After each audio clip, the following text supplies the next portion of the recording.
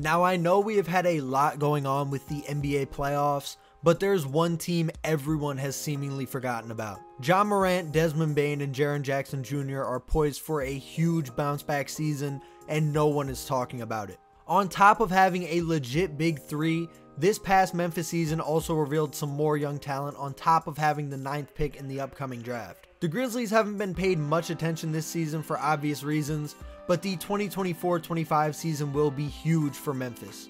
Today I'm going to be going over this current Grizzlies roster, what they might do this offseason, and why this Grizzlies team is poised for a massive bounce back.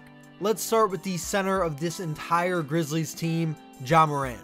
Ja has obviously been dealing with a number of things over the past two years or so, but I believe next season will be a huge one for him.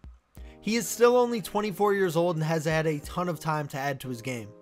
Over the past three seasons, Ja has averaged 27, 6, and 8 on about league average efficiency, and I am fully expecting to see the best version of Ja yet in 2024-25. He definitely has aspects of his game he can still improve on, notably his three-point shooting. He did experience a dip from 34.4% to 30.7% in his past two seasons in which he really played, but I'm hoping Ja has made this a point of emphasis during his time off, because if he can become a better shooter, he will be almost unstoppable. It is worth noting that Ja did shoot nearly 42% from deep in the 2023 playoffs, so it's definitely in there somewhere.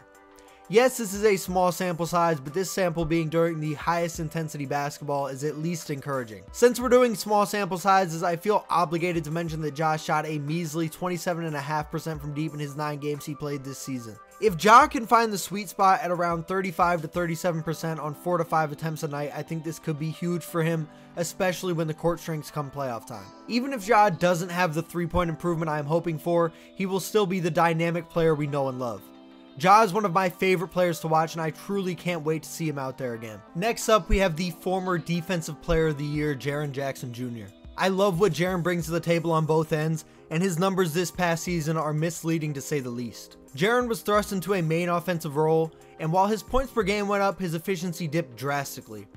But as I said, these numbers are misleading and I am not all that concerned. JJJ became accustomed to playing alongside an elite playmaker in Ja, and with his return, I feel confident that Jaren's efficiency will return to 2023 levels. This time as a number one option will also help Jaren in that he has now experienced being the focus of the defense. He will inevitably be able to attack coverages better and be more effective as a tertiary scorer. The knock on Jaren is his rebounding, and I think we all know the solution is him being a power forward.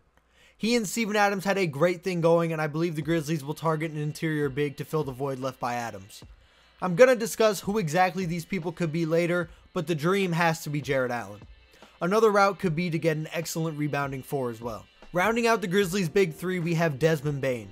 Bane is a dynamic shooter, and he too experienced a scoring increase and efficiency dip due to being thrust into a main role. For reasons I just explained with Jaren, I expect his efficiency to return and for him to be made a better player due to his time as a main focus of game plans. He missed about half of the season as well, but in his time he showed ability as more of a volume scorer, averaging nearly 24 on decent efficiency. The Grizzlies have a legit big three who are all 25 and younger and fit together well. This is a dream position to be in and it only gets better. While they will have to move off the likes of Marcus Smart and Brandon Clarke to make any major move, there is still great flexibility present with the current cap situation in Memphis. The Grizzlies also own many picks, including the ninth pick in this year's draft, and it has been rumored that they will use that pick to trade for an established vet. Before we talk about some potential moves, let's talk about the key to what makes a big move possible for Memphis to me.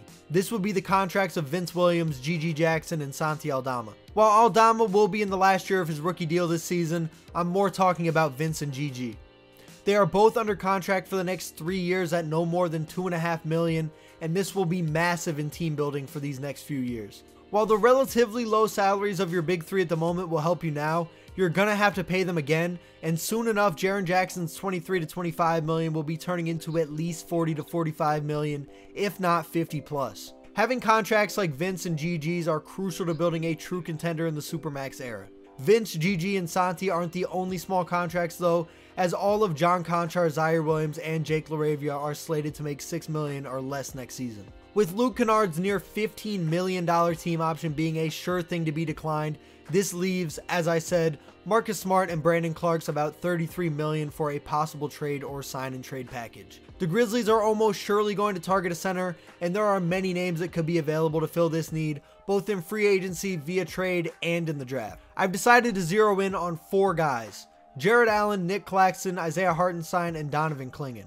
All of these guys are great bigs who would fill the need in Memphis and create a dominant front court with Jaren. The first name here is probably the most out there, and that's Jarrett Allen. While with Evan Mobley's likely max extension pending, it has been assumed that Allen will be on his way out, this may not be the case. Despite this, I think for the right package, he could definitely be on the move, and I think Memphis has that potential right package. JA is an absolutely elite center and at least a top 30 to 40 guy in the association, and would fix all the needs of this Memphis team. He is an elite defender and rebounder and even has some good passing in there as well. This would be a home run pickup and would make Memphis instantly a top contender in the West if they weren't already. If you would like to keep Marcus Smart, you could package other guys such as Konchar and Ziaire and offer more picks, but I think Cleveland would want Marcus Smart to pair in the backcourt with Mitchell, assuming they move off Garland as well. Next up, we have the free agents, Claxton and Hartenstein and both of these scenarios would have to involve sign and trades. Claxton will probably get 20 to 25 a year, while I-Hart will probably get in and around 20.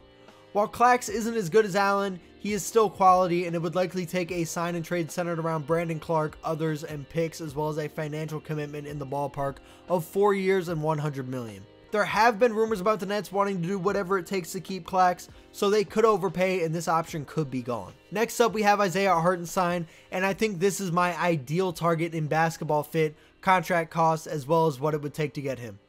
The Knicks big man showed out this year in place of Mitchell Robinson, and I think he would be an amazing fit in Memphis. Not only can he play typical role man and rim protector, but he also has elite connective passing and touch around the basket, and has even showed the ability to step out and hit a jumper at times. There have been rumors about Hartenstein getting 100 million in free agency, and this isn't impossible. However, I think his market will look more like more lucrative short-term offers and less annually lucrative long-term offers. I think he'll get offered in and around 50 million on a two-year or one plus one deal, and around 80 to 90 million on a four-year deal.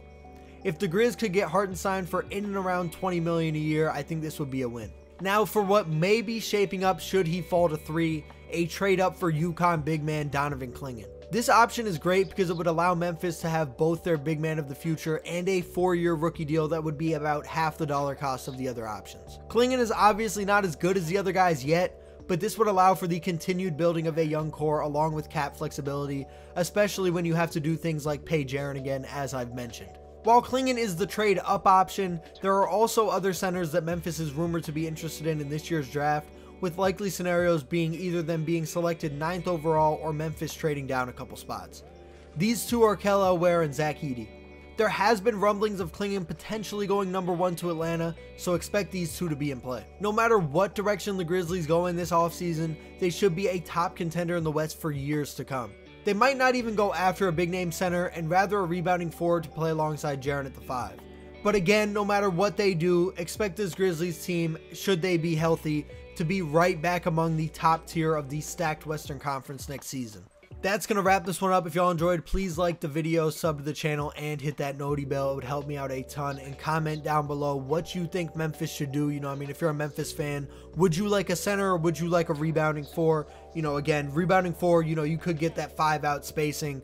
But, you know, I, I you know, I, I'm assuming that they're going to go after a big man, given what they have with Steven Adams. But yeah, that's going to wrap this one up. Once again, if y'all enjoyed it, please like it up, sub the channel, and I'm out. Peace.